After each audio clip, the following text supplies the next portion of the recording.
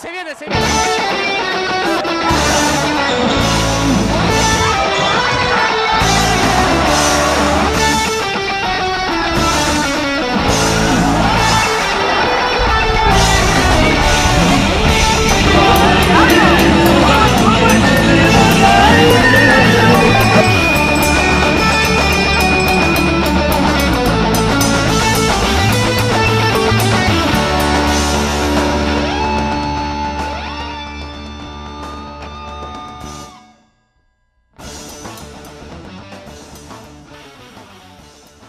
Va? Sean todos bienvenidos. Estamos dando comienzo a una nueva edición de CBS Deportes en el canal del Sur. Edición de mitad de semana. Hoy, temas a fondo. Dos temas. El fútbol ancuditano y el básquetbol laboral.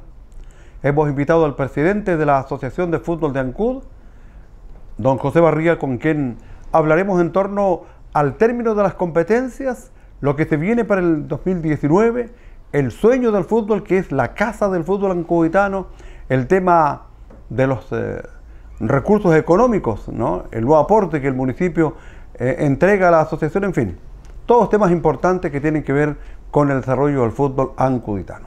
Y en el básquetbol laboral vamos a conversar con el presidente de la Asociación del Básquetbol Laboral, Patricio Pinto, en torno a lo que es la culminación de las competencias del básquetbol laboral, hecho que van a ocurrir durante los eh, próximos días en la comuna de Ancud. Analizaremos otros temas que están ligados directamente también al básquetbol laboral. Hacemos una breve pausa con nuestros avisadores. Ya estamos hablando con el presidente de la Asociación de Fútbol de Ancud. Cruz del Sur es la principal empresa de transportes del sur de Chile. Para la mejor atención de nuestros clientes, hemos implementado nuevos servicios con modernos buses de uno y dos pisos, salón cama y pullman, saliendo desde nuestro nuevo y moderno terminal de Quillón, con destino a Santiago y Concepción. Además de nuestros recorridos de intermedios para Puerto Montt, Osorno, Valdivia, Temuco, Los Ángeles, Punta Arenas y nuestro servicio internacional hacia Bariloche. Y para el cruce del canal de Chacao contamos con cuatro modernos transbordadores para que su viaje sea todo un placer. Cruz del Sur, una empresa comprometida con el progreso de Chiloé. Servicio de vulcanización y cambio de aceite de los hermanos Guayquenenen, una empresa familiar forjada en base al esfuerzo y la constancia, trabajando solo con productos de primera calidad, aceite Shell, móvil, Castrol, Chevron y Federal, en todas sus variedades, cambio de aceite y engrase para todo tipo de vehículos, servicio de vulcanización rápida y segura, gran variedad de filtros y lubricantes, para rapidez y buen servicio, prefiera los hermanos Guayquenenen en su nuevo y moderno local de calle Ricardo Lica Díaz, camino al Agua Potable, número 75 en Pudeto Bajo. La temporada regular 2018 del fútbol ancuditano a través de la Asociación de Fútbol de Ancud está culminando, aunque si bien es cierto, algunas competencias han terminado, otras siguen en desarrollo para el año 2019. De los logros del fútbol ancuditano, de lo que se viene en el ámbito del, del fútbol a nivel de selecciones, de clubes, en fin, vamos a conversar soberamente con el eh, presidente de la Asociación de Fútbol de Ancud, don José Barría, a quien agradecemos por la gentileza de venir aquí al Canal del Sur a conversar con nosotros. Presidente, ¿cómo está usted? Muy bien, don Juvenal. Muchas gracias por la invitación. Y aquí estamos eh, desde llano para conversar el tema futbolístico de este año. Así que empecemos nomás lo que usted quiera. Sí, hay, hay un tema que no lo hemos abordado, que es la, la liguilla para buscar al tercero que va al regional. Ya sabemos que Seminario y, y- y Pudeto, más bien Pudeto y Seminario, están clasificados para el regional, pero se sumó un tercer equipo porque el fin de semana pasado terminó esta, esta liguilla, ¿no? Efectivamente, don Juvenal, estuvo en la liguilla, lo conformaron eh, Club Deportivo Fátima, eh, Borque Solar, eh, Ala Chilota y Fénix. Así que estuvo muy buena la liguilla, llegando a la, a la final en- entre Fátima y Borque Solar en ambas con, con seis puntos y, y al final se, hubo un empate 3 a 3 que se, se definió de acuerdo a las bases, que era el que tenían más goles a favor y todo lo demás, y en eso fue favorecido el Club Deportivo Fátima. Fátima es entonces tercero reglamentariamente y va al regional. Exactamente, el Club Deportivo Fátima se ganó el derecho a, ir al regional de clubes campeones del próximo año. Bueno, con esto han terminado las competencias de honor y, y la liguilla para el tercero, pero está el campeonato en marcha en, en otras categorías. Sí, efectivamente, un juvenal está jugándose ya la sub-13, sub-15 y el campeonato reserva, así que recordemos también que hay un cuarto cupo que es lo a ganar de la sumatoria de la tabla general de todos los equipos que lo componen, o sea, sub-13, sub-15, senior, eh, honor, reserva, entonces el, el, mayor puntaje ese va a ser el que va a representar como cuarto cupo de ANCO. Habrá que esperar entonces el término. ¿Cuánto más o menos está terminando todo? Por lo que vamos, yo pienso que va a estar terminando a fines de enero o la quincena de febrero, así si, no, hay, si no hay contratiempo, porque de repente hay que ceder estadio y hay que empezar a, de nuevo a, reprogramar, así que pienso que como la quincena de febrero va a estar terminando. Se está desarrollando bien toda la competencia del fútbol con los terminados y con los que se están jugando, ¿no? Efectivamente, ha sido un gran año para el fútbol ancuditano, hemos podido sacar a flote lo que fue sub-13, sub-15, que años que no se jugaban el año pasado recuerde que lo habíamos empezado a implementar, pero ya este año ya estábamos más comprometidos con todos los clubes de la asociación y eso es un buen respaldo a este directorio y también hacia ellos, porque como cambiamos algunos puntos de las bases, tendría que ellos colocar su equipo correspondiente en la competencia. La competencia se hizo con ocho equipos. Con ocho no, equipos. ¿No gravitó la ausencia de dos equipos que fueron marginados de, la competencia? No, para nada, fue todo normal. Eh, me imagínate que todavía esos dos equipos que usted dice que fueron marginados todavía pertenecen a la Asociación de Fútbol de Ancud, ya que no hemos enviado todavía la documentación correspondiente, esperando que alguno de ellos llegara a fin de año de este año, oye, yo quiero participar el próximo año, pero tampoco nada. Entonces, creo que ahora ya llegó el tiempo de colocarle el sello a, a y a, y a Servisalud lamentablemente marginarlo de la competencia local totalmente. Presidente, cuando ustedes tuvieron uno de los grandes problemas que tenía el fútbol era el tema recursos económicos, básicamente por tema de deuda de los clubes. ¿Eso se ha podido solucionar o todavía está en vías de solución? Mire, efectivamente eh, los clubes se han ido poniendo al día. Tengo que agradecer eso como directorio. Eh, todos los clubes, hasta la fecha de día, recordemos que el 31 de diciembre de este año, si que había un, club con deuda, el próximo año no participa en el campeonato regional de clubes campeones. Entonces, de a medida se han ido colocando todos al día, más aún que últimamente en la última reunión que tuvimos en la regional, equipos que hayan con deuda pendiente no podrán participar en, en lo que es el campeonato del próximo año. Ah, perfecto. Así que por ese lado contentos, se han ido poniendo al día, eh, no tengo nada que decir a, los clubes, así que están trabajando, están trabajando con ciencia y, eso se agradece para la Asociación de Fútbol de Ancud. El año 2018 termina con una buena noticia para el fútbol, ¿no? que de una u otra manera respalde el accionar de ustedes como dirigentes. Eh, el municipio que tenía presupuestado una cierta cantidad de recursos lo aumentó considerablemente, eh, según lo señalado por el alcalde hace algunos días, ¿no? Sí, efectivamente. Eso igual hay que agradecer a nuestras autoridades eh, a don Carlos Gómez Miranda y también al honorable Consejo Municipal, que tras reuniones que hemos tenido con el alcalde, con el jefe de deporte, con algunos concejales, y, eso se agradece mucho porque de subirnos de 5 millones a 15 millones de pesos la subvención del próximo año, nos aliviar un montón en, en, sentido de contratar un profe, pagarle, y eso es muy, muy gratificante para nosotros que a lo mejor estamos tranquilos, paso a paso, pero estamos haciendo las cosas bien para el fútbol ancubitano. Yo no me considero, el directorio no se considera eh, que lo vamos a saber todos, tenemos nuestros errores, pero a medida que pasa el tiempo vamos aprendiendo y, eso se agradece que el respaldo que nos están dando nuestras autoridades. Perfecto. Eh, habla usted de contratar un propio, eh, ¿de qué estamos hablando? ¿De un técnico para las series adultas, considerando que el próximo año se van a jugar eliminatorias para el nacional adulto, ¿no?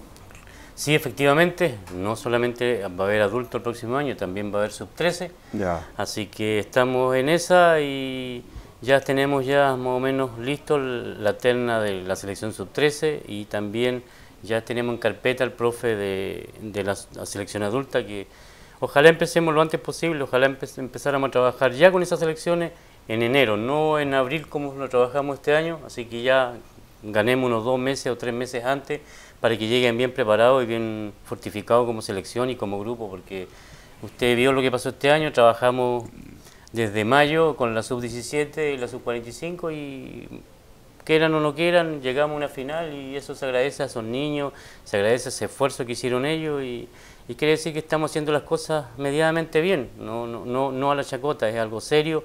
Si usted pregunta al día de hoy día, si, le debemos la plata a algún director técnico que estuvo en la selección, nada, se canceló todo, no tenemos ni una deuda de, este directorio que asumimos, gracias a Dios eh, tenemos nuestra platita a favor este año, vamos a salir con, con números azules, así que eso se agradece y eso quiere decir que no estamos tan perdidos, estamos haciendo las cosas bien y eso... Pero hay, pero hay recursos pendientes de pago de, de directorios anteriores a ustedes. Sí, efectivamente. Usted sabe que lo que pasó con el Nacional, de ahí viene una pequeña debacle que lamentablemente todavía usted sabe que eso hay una deuda o menos de 13, 14 millones de pesos. Entonces, lamentablemente nosotros este año estuvimos trabajando paso a paso y, lo que se dio, se dio este año. y en la medida que se, puede, que se pueda, se podría ir regularizando, pero...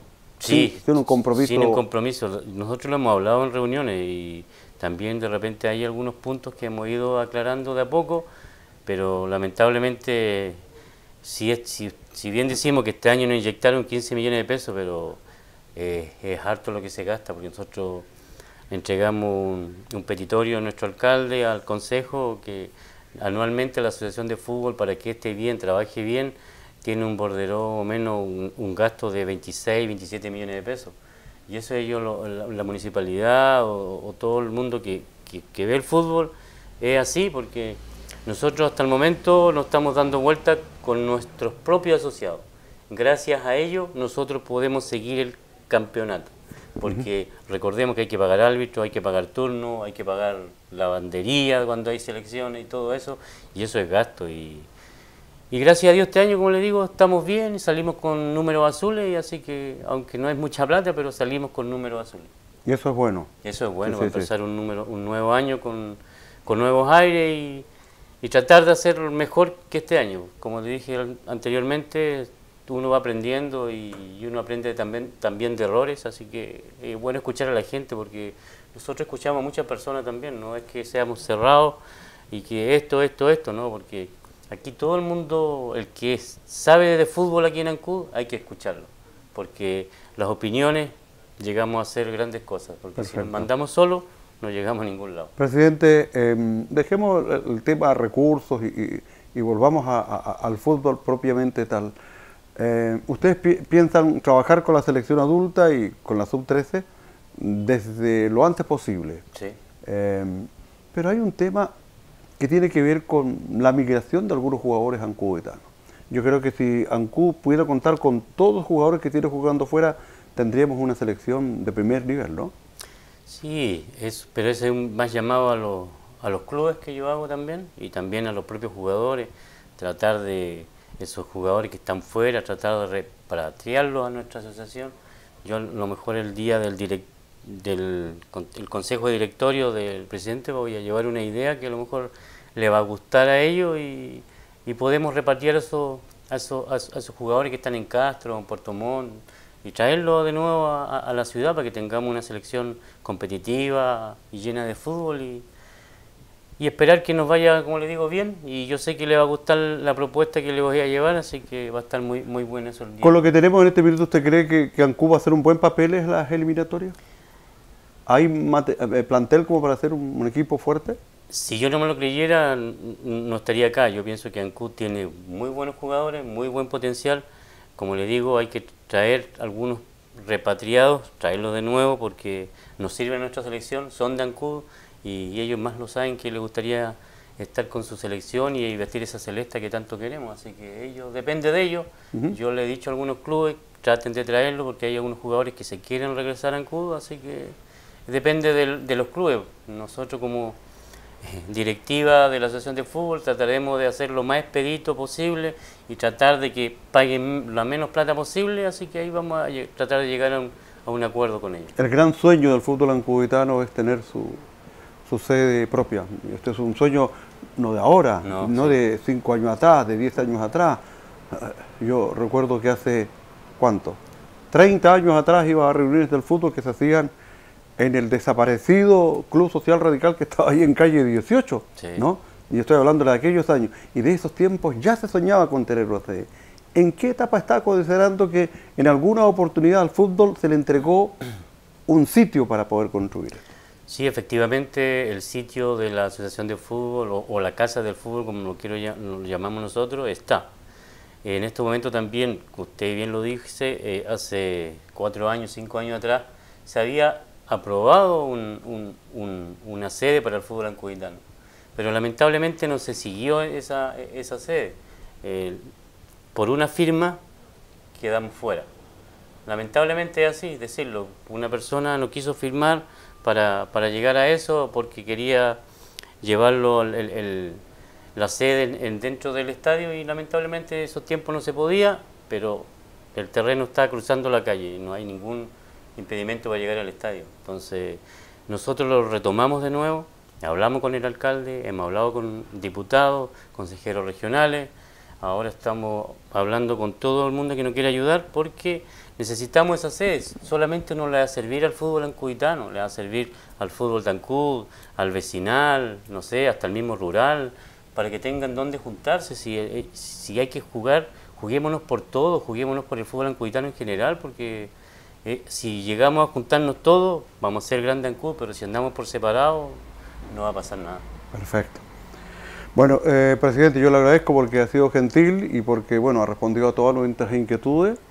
Eh, desearles que el 2019 que ya llega sea un muy buen año para, para el fútbol ancubitano y que puedan disfrutar también ustedes, junto a sus familias, los demás dirigentes de, de unas felices fiestas. Bueno, muchas gracias. También lo retribuye usted como medio de prensa. También que pasen una bonita fiesta. Y también desearle a todos nuestros asociados de la Asociación de Fútbol Ancud, a todos los clubes, a jugadores, niños, cuerpo técnico y en especial también a nuestras mujeres porque recordemos que sin ellas no podríamos andar haciendo deporte porque de repente como dirigente o deportista de repente lo dejamos mucho al lado de afuera de ella. ¿Ya? Y eso todo el mundo lo sabe y yo quiero darle mil gracias a esas mujeres de nuestros deportistas que siempre nos están apoyando, siempre nos están incentivando a hacer cosas grandes, así que que pasen un bonito fin de año, unas bonitas navidades y que el fútbol ancuditano siga arriba y que no decaiga nunca. Muchas gracias. Don eh, José Barría, presidente de la Asociación de Fútbol de Ancud, ha conversado con nosotros en torno a los logros, los sueños las cosas importantes del fútbol en este año que termina y en lo que se viene para el 2019. Cruz del Sur es la principal empresa de transportes del sur de Chile.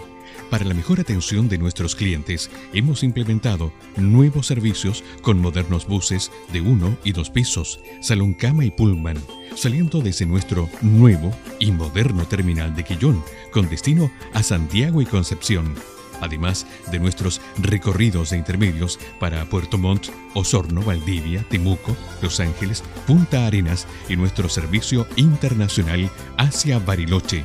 Y para el cruce del canal de Chacao contamos con cuatro modernos transbordadores para que su viaje sea todo un placer. Cruz del Sur, una empresa comprometida con el progreso de Chiloé. Servicio de vulcanización y cambio de aceite de los hermanos Guayquenenen. Una empresa familiar forjada en base al esfuerzo y la constancia, trabajando solo con productos de primera calidad. Aceite Shell, Móvil, Castrol, Chevron y Federal, en todas sus variedades. Cambio de aceite y engrase para todo tipo de vehículos. Servicio de vulcanización rápida y segura. Gran variedad de filtros y lubricantes para rapidez y buen servicio, prefiera los hermanos Guayquenenen en su nuevo y moderno local de calle Ricardo Licadías, camino al Agua Potable, número 75 en Pudeto Bajo. Nuestro segundo tema de conversación en este programa de mitad de semana con temas a fondo es el básquetbol laboral. Está en su etapa de terminación la competencia 2018. Eh, se está ya en las liguillas finales y dentro de algunos días se van a conocer a los ganadores de una competencia que generalmente abarca gran parte del año. Patricio Pinto es el presidente de la Asociación de Básquetbol Laboral y lo hemos invitado para hablar en torno a lo que ha sido la competencia de este año. Bienvenido Patricio, ¿cómo está usted? Gracias Juvenal por la invitación y eh, feliz de estar nuevamente compartiendo con, ustedes en el programa. ¿Está terminando una nueva competencia ah, con muchas dificultades, con muchos altibajos o, normal dentro de lo que se puede hacer? No, es, normal, ya nosotros ya, para nosotros eh, organizar un campeonato año a año, eh, tenemos muchas cosas que van saliendo en el transcurso del evento, pero eh, no son cosas graves, son cosas que son manejables administrativamente, que ya nosotros eh, sabemos más o menos y se conversan las situaciones con anterioridad que puedan suceder.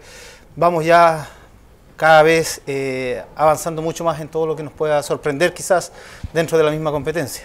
Patricio, tú tienes muchos años en, en el básquetbol laboral. ¿Ha ido creciendo el básquetbol laboral o está estancado con un número determinado de jugadores o de clubes? ¿Crees tú que, esto ha ido creciendo? Yo creo, Juvenal, que eh, el básquetbol laboral está estancado.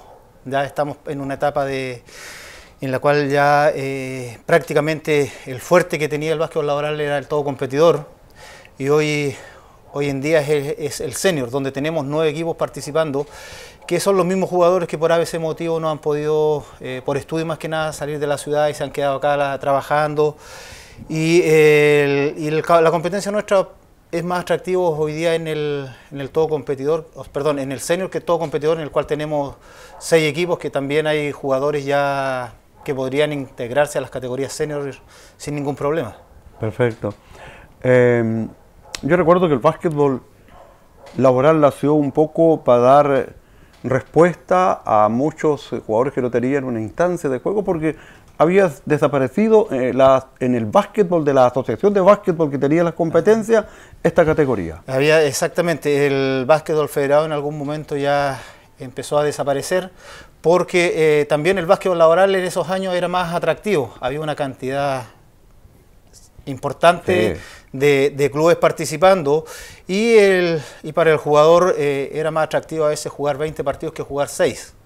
Y por eso se fue, de alguna u otra manera también fue desapareciendo el básquetbol federado porque ya la competencia, como dije anteriormente, no era atractiva. Y, eh, toda esa gente que amante del básquetbol lo fue recibiendo el, laboral. Y así fuimos, fuimos creciendo como, como organismo en el cual llegamos a tener eh, bastantes clubes participando, tuvimos en su momento competencias senior, damas, eh, todo competidor, hicimos una categoría de 35, después fue una de 40.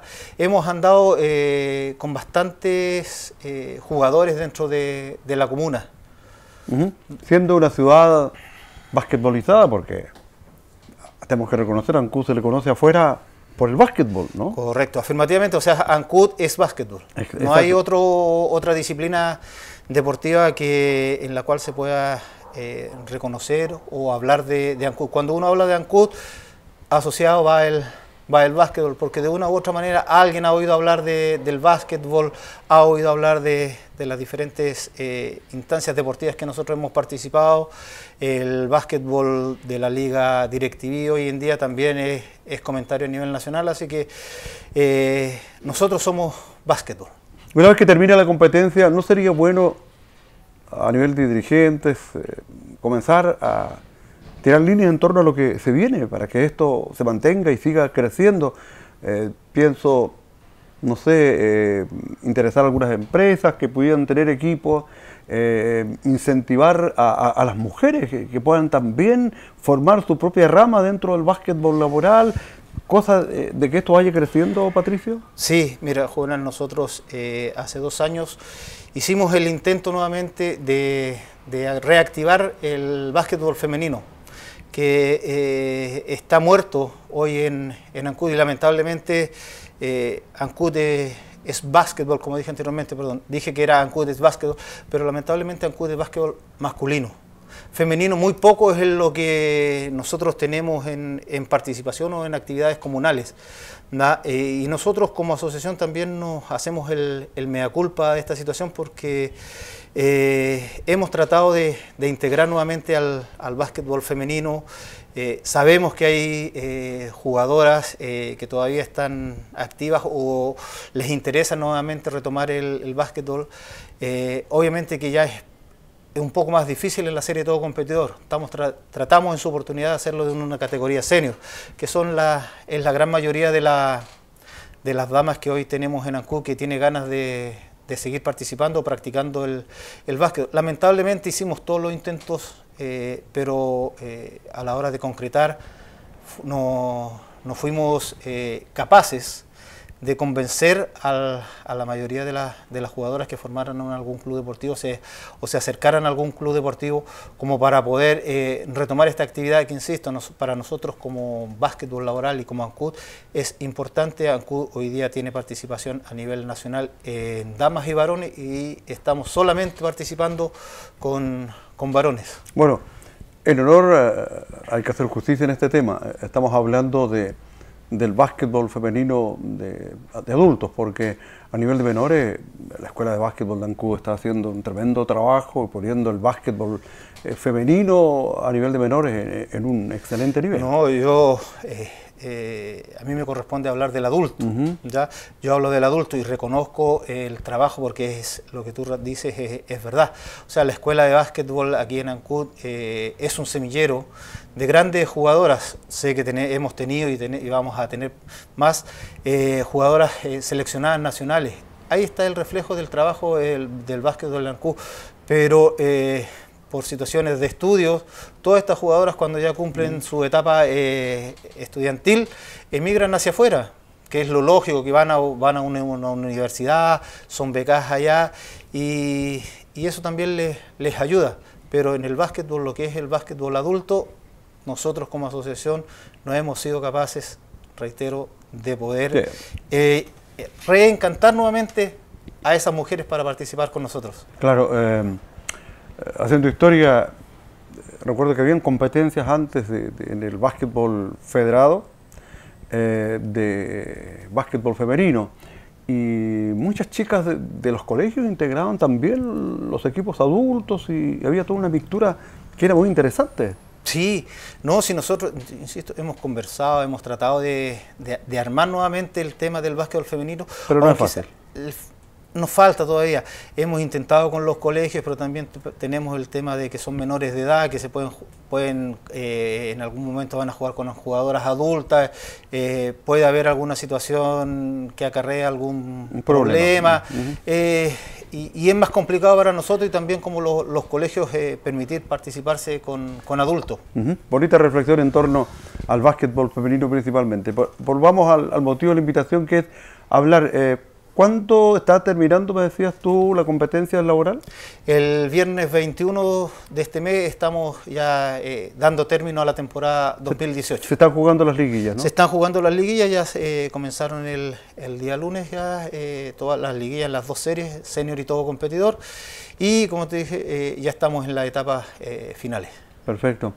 Eh, ¿Los que son primero tienen algún premio especial o simplemente los trofeos corresponden? No, los campeones en ambas categorías eh, tienen el derecho de representarnos en los nacionales de Canadela y a su vez también tienen la prioridad para participar en los campeonatos de, Maxi. Así que no, eh, todos tienen su, premio extra por, por nombrarlos, que es eh, el derecho que le de ser campeones le da de participar o representarnos en los, campeonatos nacionales. ¿En cuántas categorías están jugando? En dos, en todo competidor y senior. En senior. ¿Sí? Ah, perfecto. Eh, tú hablabas del, del, del Maxi, este año 2018 se efectuó en Puerto Montt. Eh, ¿Cómo estuvo la participación de los equipos de Ancud?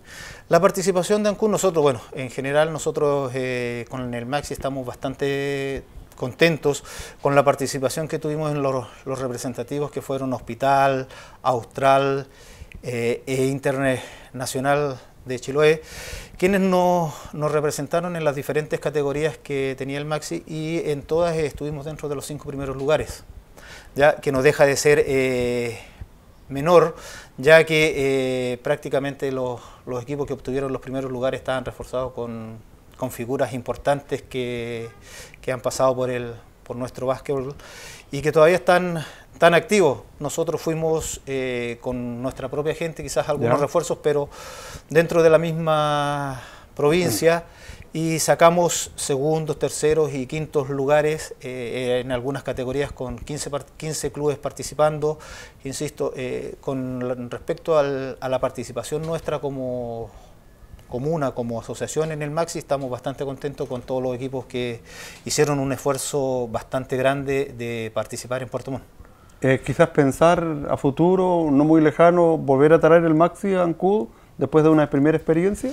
Eh, nosotros ya estamos en esas conversaciones. Ah, eh, ya hemos eh, avanzado algunas conversaciones con, con, la, con, el señor alcalde y el, prontamente vamos a reunirnos nuevamente ya para definir el tema porque esto se tiene que solicitar o se tiene que hacer un, un planteamiento en las reuniones de, de marzo del, del 2019 para que se nos pueda entregar porque nosotros vamos a pelear el Maxi para el año 2020.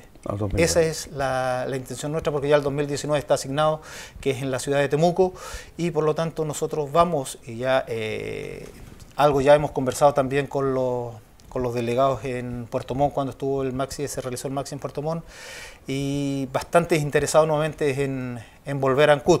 Así que todos esos factores a, nosotros nos, nos alienta un poco más el interés de los, de los equipos de venir nuevamente a Ancú está, el interés eh, del señor alcalde en apoyar este evento está, eh, falta simplemente concretar el, apoyo real como para nosotros ya el ir definitivamente a pedir el Maxi para el 2020. Perfecto, son buenas noticias, con estas buenas noticias terminamos esta nota con Patricio Pinto, que es el presidente del básquetbol laboral. Gracias por venir a conversar con nosotros. Éxito en todo lo que resta de, la competencia oficial. Gracias, Juvenal. Como siempre, agradecido por la invitación que me hacen para venir a hablar del básquetbol laboral. Y eh, quedamos a, a disposición de ustedes para cuando lo requieran. Muchas gracias. Patricio Pinto, él es el presidente de la Asociación de Básquetbol Laboral. Hemos conversado del básquetbol femenino, del básquetbol laboral en competencia, del maxi básquetbol, en fin, buenos temas que obviamente apuntan al desarrollo del básquetbol en la comuna de Ancud.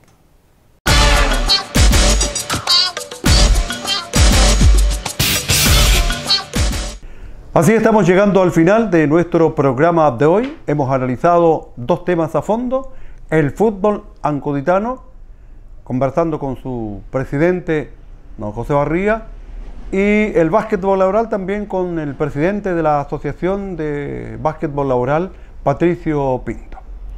Eh, ha sido un programa destinado básicamente a entregar información en torno a lo que están haciendo estas dos organizaciones deportivas. Antes de la despedida señalemos que eh, en el básquetbol y ante consultas de, mucha gente que eh, vibra con el básquetbol de ABA ANCUT, se anuncia un cambio de extranjero en Ancud, pero no hay una información oficial, según eh, uno de los dirigentes, mientras no se tenga la certeza de que el jugador está en nuestro país. Por de pronto, Abancud este miércoles viaja a las 23 horas rumbo a Talca para sus compromisos del viernes en Talca y el sábado en Puente Alto. Ahora sí, termina nuestro programa por hoy. Gracias por acompañarnos. Si Dios quiere, será hasta una próxima oportunidad. Se viene, se viene.